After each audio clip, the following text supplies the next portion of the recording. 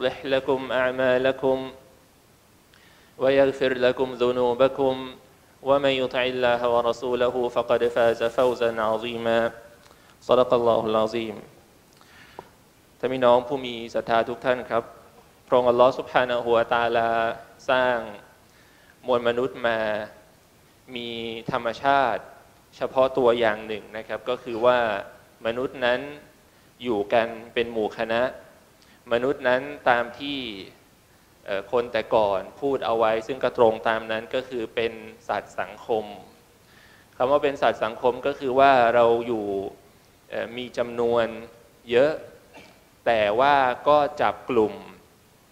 แล้วก็มีการแชร์เรื่องราวของผลประโยชน์นะครับ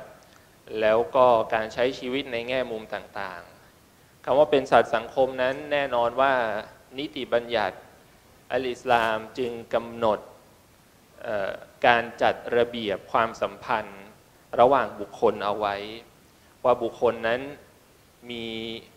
หน้าที่แล้วก็มีสิทธิอย่างไรบ้าง นั่นก็คือธรรมชาติที่พระองค์อัลลอฮฺสุบฮานะฮัวตาลา สร้างมนุษย์เอามา ทีนี้ว่าพอเวลา เราพูดถึงสังคมอัลอิสลามวางหน้าที่เอาไว้หลายประการด้วยกันนะครับ แล้วก็อายะหนึ่งที่เราจะได้ยินอยู่บ่อยๆ ประจำนั่นก็คือว่าลอสุภานวตาลาตรัสว่าวะตาتعاونوا على البر والتقوى ولا تعاونوا على الإثم والعدوان แล้วก็ให้บรรดามวลมนุษย์ทั้งหลายนั้นتعاونوا จงช่วยเหลือกัน ในเรื่องอะไรครับالبر والتقوى ในเรื่องของความดีและการยำเกรงต่ออัลลอฮ์ سبحانه وتعالى และในทางกลับกันก็คือولا تعاونوا على الإثم والعدوان แล้วก็อย่าได้ช่วยเหลือเกื้อกูลกันในเรื่องของบาป หรือว่าในเรื่องของการละเมิดอายะนี้ครับท่านพี่น้องผู้มีศรัทธาทั้งหลาย ถามว่าสิ่งแรกที่เราได้นะยังไม่ต้องว่าลงวิเคราะห์ ลงลึกอะไร แต่ว่ากลิ่นที่เราได้ มันคือกลิ่นอายของความต้องการของอัลอิสลามที่จะสร้างเอกภาพให้เกิดขึ้นในสังคม นั่นหมายถึงว่าสังคมสังคมหนึ่ง ไม่ว่าจะประกอบด้วยชนชาติเดียว หรือหลายชนชาติ หรือว่าหลายสัญชาติก็แล้วแต่ตราบใดที่จับกันอยู่ในสังคมมีความสัมพันธ์หนึ่งหนึ่งผูกรั้งพวกเขาเอาไว้อยู่ด้วยกันนั้นสังคมนี้ จะมีความสุขได้ ก็ต่อเมื่อสมาชิกในสังคมนั้นช่วยเหลือเกื้อกูลกัน สมาชิกในสังคมนั้นเห็นคุณค่าของสมาชิกคนอื่น ๆ ตนเองเป็นหนึ่งในสมาชิกและก็เช่นเดียวกันคนอื่น ก็เป็นหนึ่งในสมาชิกเช่นเดียวกัน แล้วก็ในความเป็นสมาชิกนี้เมื่อเดินไปด้วยกัน เมื่อจับมือไปด้วยกัน มันก็จะทำให้สังคมมีความเป็นอันหนึ่งอันเดียวกัน แล้วก็ทำให้สังคมนั้นมีแรงมีความเข้มแข็ง เพราะฉะนั้นพอเวลาเราไปดูในประวัติศาสตร์ ท่าน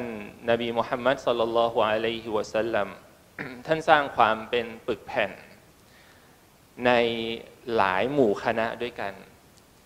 ถ้าเกิดว่าเราย้อนความไปดูในยุคแรก ๆ ที่ท่านอพยพไปสู่นครมาดีนะ เราจะเห็นว่า คนที่นั่น แล้วก็ภาพของผู้อพยพที่เพิ่งไปลงหลักปักฐานตรงนั้นนั้นมีอยู่หลายกลุ่มเหลือเกิน กลุ่มแรกก็คือคนท้องถิ่นชาวยัสริบซึ่งชาวยัสริบนั้นก็ถูกขนานนามต่อมาว่าเป็นชาวอันซอรซึ่งก็คือผู้ที่ช่วยเหลืออัลลอฮ์และรอซูลในศาสนาของพระองค์ แล้วก็มีกลุ่มมูฮาจิรีน ในหมู่ชาวอันซอรเอง มีตระกูลอัลส์กับคอสรอชซึ่งก็ในประวัติศาสตร์ก็ทำสงครามห้ำหันกันมา แล้วก็เพิ่งจะมาดีกัน ก็เพราะว่าอัลอิสลาม นั่นก็คือณเวลาที่ท่านนบีมุฮัมมัดสุลลัลลวะสัลลัมอพยพไปที่นั่น และในหมู่ชาวยัสริบก็ยังมีคนที่ไม่ได้รับนับถือศาสนาอิสลาม แต่ว่าแสดงตน เป็นมุสลิม ที่เราเรียกกันว่ามูนาฟิก ซึ่งในเนื้อแท้ของพวกเขาก็คือเป็นมุชริก เป็นกาเฟรนอกเหนือจากนั้นยังมีชาวยาฮูดอีกสามตระกูลใหญ่ ๆ อาศัยอยู่ที่นั่น เป็นชนชั้นของพ่อค้า และก็เป็นเกษตรกรอยู่ที่นั่นะนั้นผู้คนเยอะแยะมากมายเหล่านี้ ท่านนบีมุฮัมมัดสุลลัลอะลัยวะสัลลัมก็ออกนโยบายต่างๆ นานา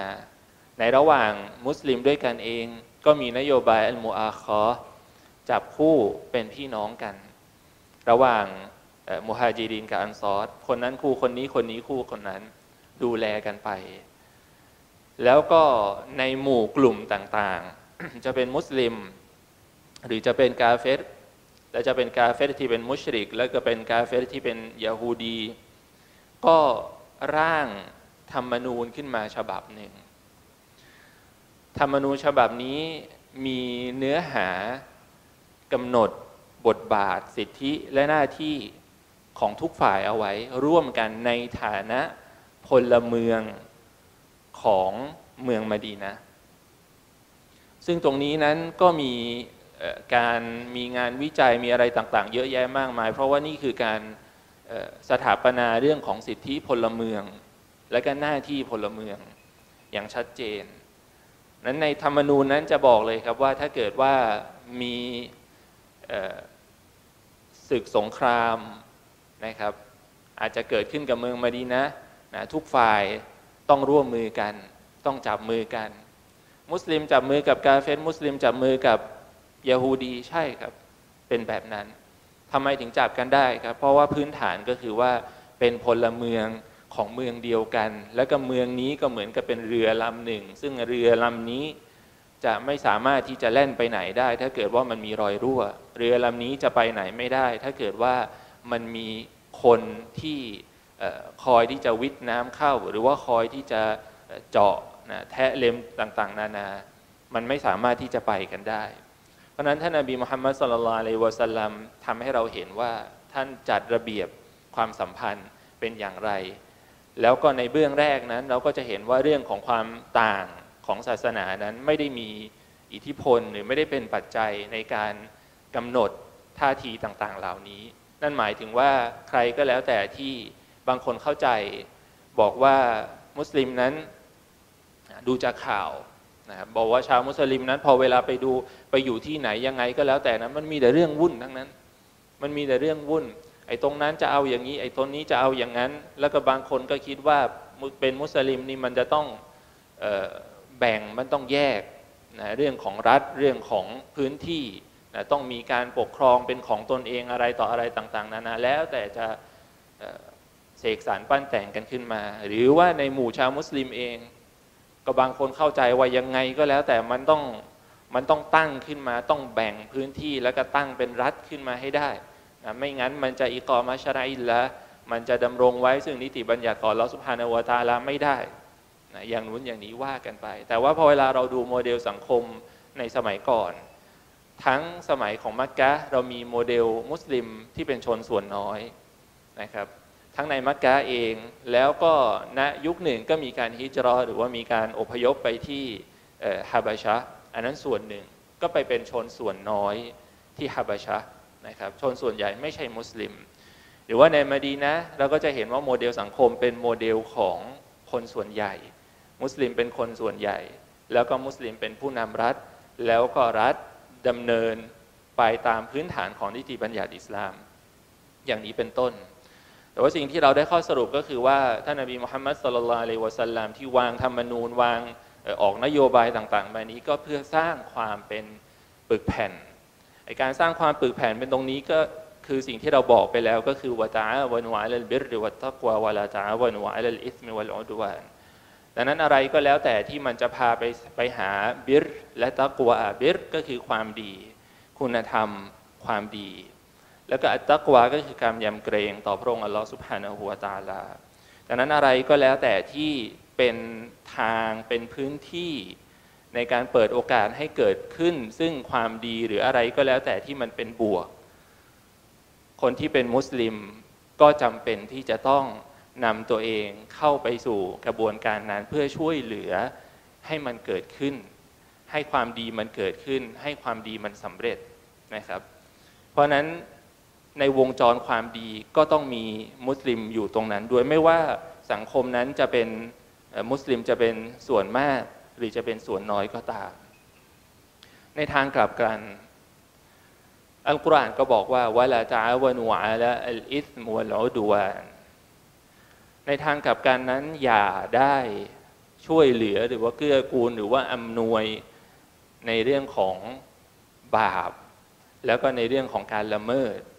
ถามว่าการละเมิดนี่มันมีละเมิดต่ออะไรบ้างครับ ละเมิดต่อตัวเองมีไม่ใช่ว่าตนเองมีสิทธิและเสรีภาพอะไรต่างๆนานาโดยไม่มีขอบเขตจำกัดไม่ใช่ คนไม่มีสิทธิที่จะเอาของที่มันทำลายสุขภาพทำลายสมองทำลายสติปัญญา ยาเสพติดอะไรต่างๆนานาเข้าสู่ร่างกาย คนมีสิทธิ์ไหมไม่มีสิทธิ์นะครับ หรือว่าการละเมิดต่อบุคคลอื่น อันนี้ก็เป็นอีกการละเมิด หรือว่าละเมิดต่อบทบัญญัติของลอสุภานาหัวตาลา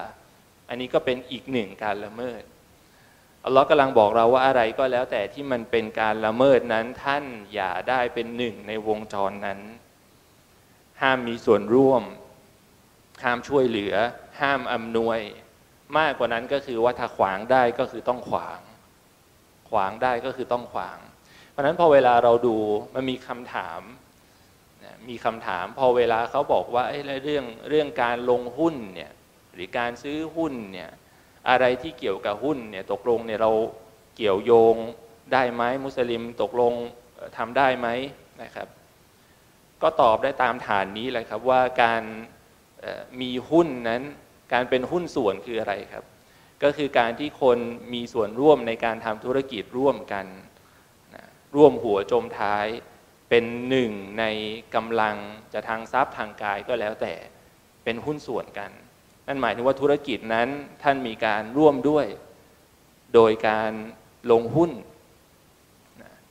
ทีนี้คำถามก็คือว่านักวิชาการก็ให้ข้อสรุปมาง่าย ๆ ว่าไอ้หุ้นเนี่ยถ้าท่านจะไปร่วมกันทำธุรกิจอะไรก็แล้วแต่เนี่ยก็ไปดูซิละว่าปลายทางเนี่ยมันไปลงตรงไหน หมายถึงว่าบริษัทเหล่านั้นเนี่ยเขาทำธุรกิจเรื่องอะไร เขาทำธุรกรรมเรื่องแบบไหนนะครับ อะไรก็แล้วแต่ที่ไม่เกี่ยวกับหรือว่าเกี่ยวข้องกับสิ่งที่ฮารอม สิ่งที่มันไม่ฮาลาลหรือธุรกิจอะไรก็แล้วแต่ที่มันเป็นสีเทาไอ้สีเทานี่ใครเรียกเขาเรียกกันนะครับไอ้พวกธุรกิจกลางค่ำกลางคืนนะครับ พวกไฟสลัวสลัวอะไรต่างๆ นานาทั้งหลายเนี่ย อ้ที่ว่าเทานี่คือเขาเรียกเอง แต่เรานี่ดำปีเลย ไอ้แบบนี้นี่คือดำนะครับ แล้วก็ดำก็คืออะไรก็คือร่วมไม่ได้ท่านจะช้อนซื้อหุ้นจะไปเทขายจะอะไรอย่างไรก็แล้ว แต่จะในตลาดหลักทรัพย์ นอกตลาดหลักทรัพย์ ท่านไม่สามารถที่จะมองหุ้น โดยตัดขาดจากเนื้อหาของบริษัทนั้น ๆ ได้ ว่าบริษัทนั้น ๆ นั้นดำเนินการเรื่องอะไรธุรกิจอะไร นั่นหมายถึงว่าถ้าเกิดว่าเกี่ยวข้องกับสิ่งที่ไม่ฮาลาลเกี่ยวข้องกับสิ่งที่ฮารอม ไม่ว่าจะใกล้จะไกล นั่นก็คือท่านไม่สามารถที่จะมีส่วนร่วมได้ เพราะนั่นคือการร่วมในการทำธุรกิจและนั่นก็คือสิ่งที่เราอ่านไปคือวาลาตาวานูไอลอิสเมวลอดูวานอย่าช่วยกันในเรื่องของสิ่งที่มันเป็นบาป หรือว่าตัวอย่างที่นักวิชาการมักจะยกกันก็คือ การที่ท่านมีส่วนร่วมหรือส่วนเอื้อในการเกิดขึ้นของความชั่ว ที่บอกว่าท่านถ้าท่านเป็นพ่อค้า และท่านขายองุ่นหรือขายข้าว แล้วก็เขาจะซื้อข้าวท่านไปเพื่อที่จะไปหมักเป็นเหล้าขาย หรือว่าจะเป็นองุ่นไปทำวายหรือจะเป็นอุปกรณ์ท่านอาจจะไม่ได้ขายวัตถุดิบ แต่ท่านขายบรรจุภัณฑ์ นะครับหรือว่าท่านขนส่ง หรือว่าท่านมีส่วนร่วมอะไรลักษณะแบบนี้นั้น อิสลามก็ไม่อนุญาตให้ท่านทำสิ่งเหล่านั้นเช่นเดียวกัน นี่คือลาตาวานูอัลอิสมอลอดวนหรือว่าท่านขายมีด โดยที่รู้ว่าเขาจะซื้อไปนั้นไปฆ่าคนหรือไปทำอะไรที่มันไม่ดี ก็เป็นวาจิบที่ท่านจะต้องไม่ขายอย่างนี้เป็นต้น เพื่ออะไรครับเพื่อที่จะตัดวงจร ราะว่าอิสลามมองไว้ว่าอะไรก็แล้ว แต่ถ้าท่านอยู่ในวงจรแล้ววงจรมันดี นั่นคือท่านได้อานิสงส์ด้วย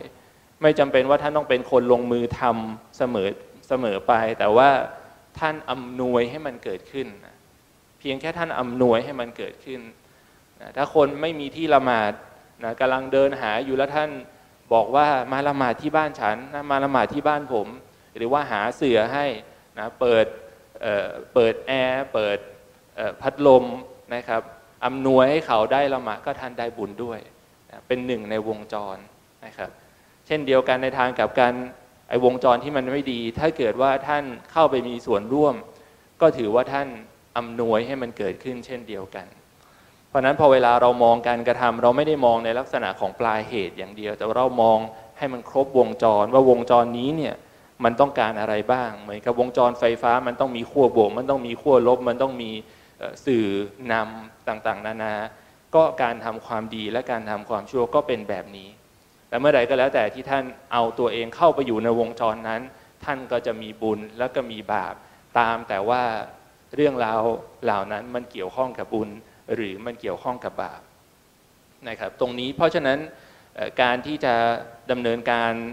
อะไรก็แล้วแต่ ท่านก็จะต้องมีการ ตรวจสอบ ท่านก็จะต้องมีการศึกษานะครับว่ามันเป็นบุญเป็นบาปอะไรอย่างไร ทีนี้ว่ามันมีตรงกลางไหม บางคนบอกว่าพอเวลาเราอ่านตาวานูอัลลบิริวัตตะกวาโอเค ช่วยเหลือกันในเรื่องดี แล้วก็ในฝั่งไม่ดีนั้นเวลาตาวานูอัลลอิสมิวลอุดวันก็ไม่ต้องช่วยเหลือ ไม่ต้องไปเอาตัวเองไปเป็นหนึ่งในวงจร แต่คำถามก็คือว่าแล้วมันมีตรงกลางไหมหมายถึงว่าถ้าเกิดว่าเราไม่รู้ ถ้าเราไม่รู้ ไม่รู้ว่าตกลงมันดีหรือมันไม่ดี ไอ้ตรงนี้บทสรุปมันเป็นอย่างไร อิสลามก็มีคำแนะนำบางส่วนก็คือว่าให้ท่านวางเฉย วางนิ่ง แล้วก็ไม่ยุ่งกับสิ่งนั้น ไม่ว่าอะไรก็แล้วแต่ครับไม่ใช่เรื่องของธุรกิจอย่างเดียว ไม่ใช่เรื่องของธุรกรรมอย่างเดียว เรื่องอะไรก็แล้วแต่ที่ท่านไม่ไม่มีตะบยุนไม่ได้ชัดเจนในเรื่องของฮาลาลหรือฮารอมหรือถูกกับผิด สิ่งที่ท่านทำได้ง่ายที่สุดก็คือการวางเฉย แต่คำว่าง่ายที่สุดของเรานั้นอาจจะง่ายในทางทฤษฎีนะครับ แต่ว่าปฏิบัติในบางเรื่องรู้สึกว่าในทางปฏิบัติมันออกมาดูยากเหลือเกินการที่เราจะอยู่เฉยๆไม่พูด ดูเหมือนง่ายนะครับ ท่านนบีมุฮัมมัดสุลลัลอะลัยวะสัลลัมท่านบอกเอาไว้เรื่องพูดก็คือว่ามันแค่ในยุมินุบิลลาฮิวะลิยามิลอาคิรฟะลียกุลขัยรันอาลียัสมุด ถ้าเกิดว่าใครก็แล้วแต่ที่ศรัทธาต่อร้อนและวันสุดท้าย ถ้าพูดดีไม่ได้ก็ให้นิ่ง ก็ให้นิ่งซะวางเฉยซะไม่ต้องพูดอะไรนักวิชาการเขาบอกเลยนะเขาบอกว่าไอ้คำว่าพูดดีได้เนี่ยหมายถึงว่าท่านท่านมีความประจักษ์แจ้งแล้วว่าไอ้สิ่งที่พูดน่ะดีไอ้สิ่งที่เปล่งออกมาน่ะดี อ่านคุรานอะดีสลาวาดดีซิกเกตดี นะครับให้สลามดีอะไรต่างๆ นานาเหล่านี้มีความประจักษ์แจ้งชัดเจนแล้ว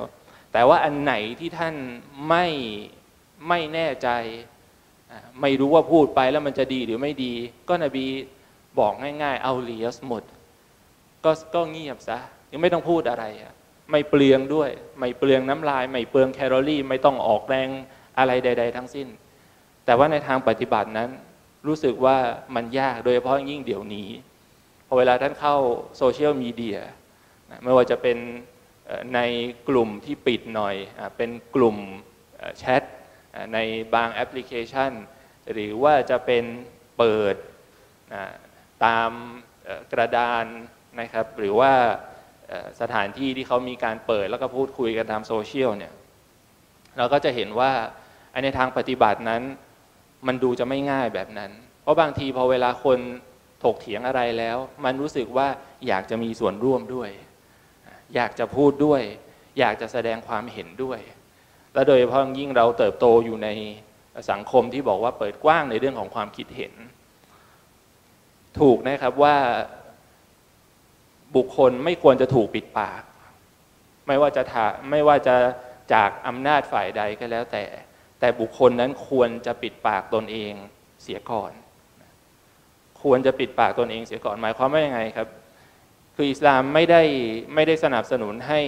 ทุกเรื่องจะต้องพูดหรือทุกเรื่องจะต้องมีส่วนร่วมเสมอไป ท่านนบีสุลต่านลวะสัลลัมให้หลักเอาไว้ บอกว่ามินฮุสนีอิสลามิลมรอิตรกุฮูมาลายานีความเป็นมุสลิมที่ดี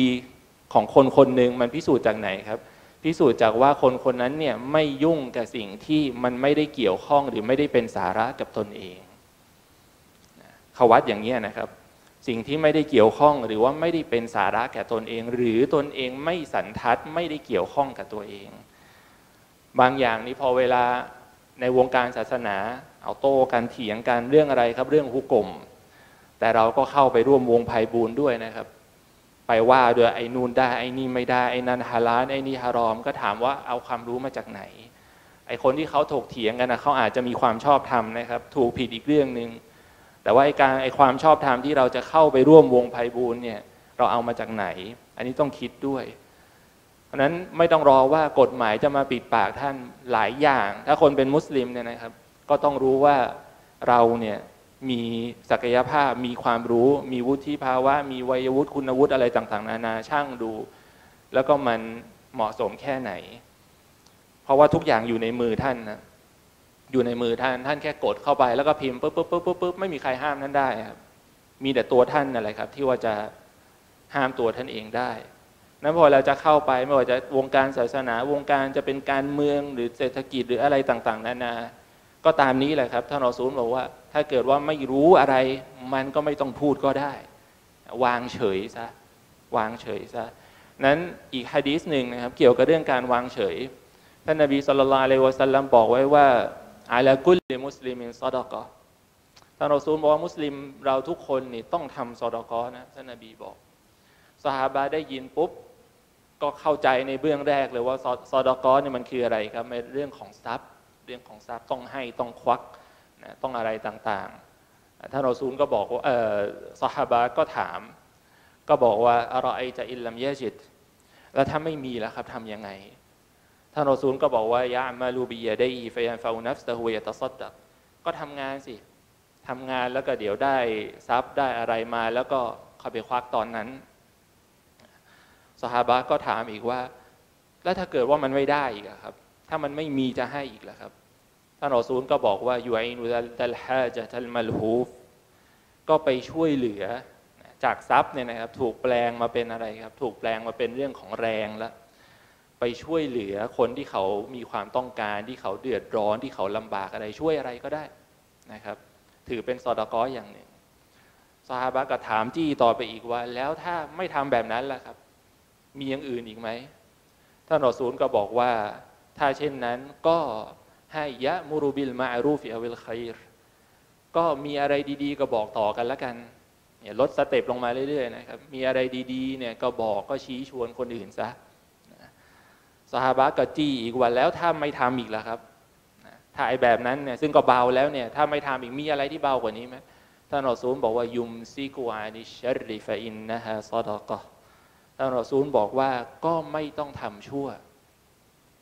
ไม่ต้องทำชั่ว แล้วท่านนบีบอกว่าไอ้นั่นแหละซอดาเกาะฮ์แล้ว ไม่ต้องทำชั่วคำว่าไม่ต้องทำชั่วนี่คืออะไรก็คืออยู่เฉยๆละละไว้ซะคือถ้าทำดีไม่ได้ก็อยู่เฉยๆ concept แบบเดียวกับฮะดีสที่ก่อนหน้านี้ บอกว่าถ้าพูดดีไม่ได้ก็ให้นิ่งให้เงียบซะนะครับนี่คือการปล่อยวางปล่อยเฉย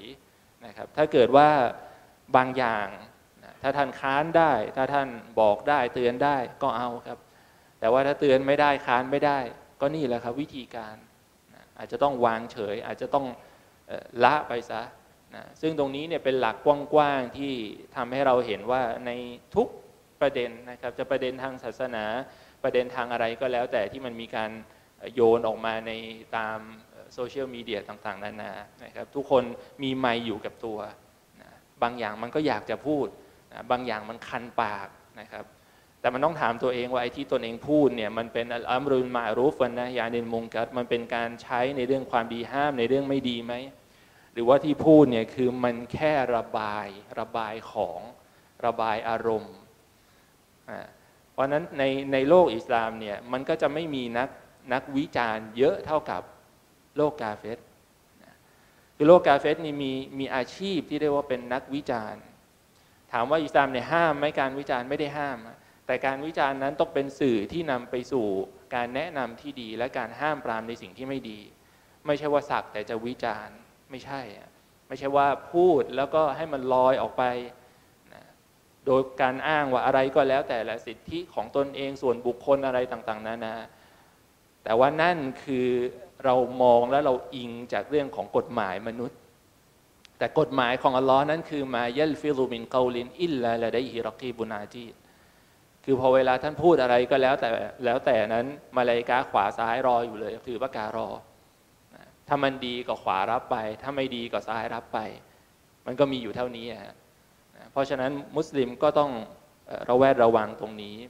เพราะนั้นคำว่าตาวะนุอัลลบิรวัตตะกวาวลาตาวะนุอัลลอิสมุลอุดวานีชัดในเรื่องของความต้องการที่จะทำให้สังคมมีเอกภาพแล้วก็มีความเป็นปึกแผ่น และเมื่อใดก็แล้วแต่ที่ท่านดู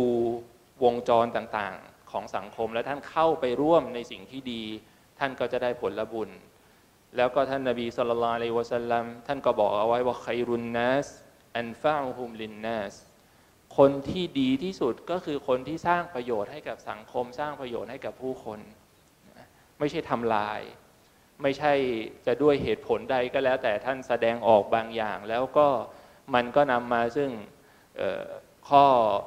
สังเกตหมายเหตุต่างๆ มากมาย ว่าตกลงแล้วมันดีหรือมันไม่ดีหรือว่ามันเกี่ยวกับท่านหรือมันไม่เกี่ยวกับท่านนะครับ ว่าสุดท้ายแล้วเนี่ยมันก็นำมาซึ่งอาจจะกระทบเอกภาพหรือความเป็น